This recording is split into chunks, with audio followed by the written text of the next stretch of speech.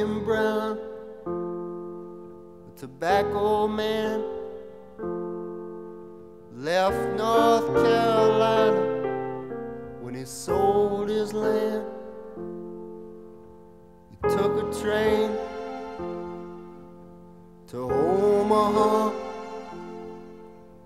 stayed there with some friends he had. And he didn't mind and he didn't mind the wind, and he didn't mind the cold, and he didn't miss home.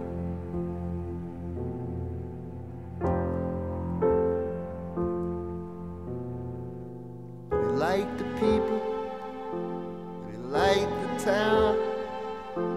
So he built himself a house beside the river. He sent for his children. And he sent for his cars. And he bought a little business that would run itself. And he didn't mind the dust.